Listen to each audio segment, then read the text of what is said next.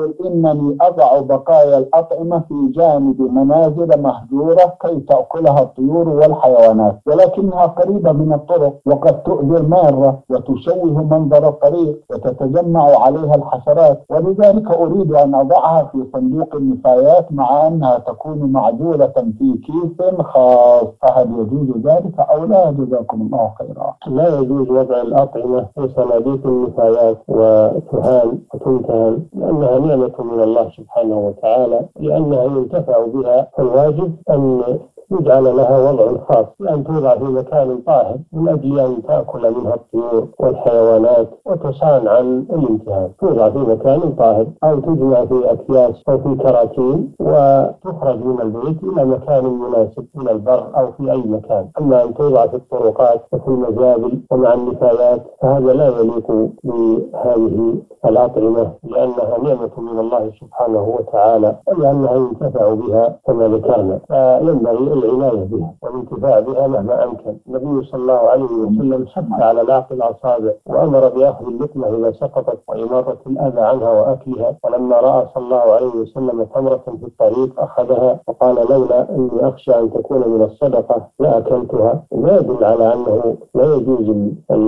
التهاون في الطعام وامتهانه و... جزاكم الله خيرا وأحسن إليكم.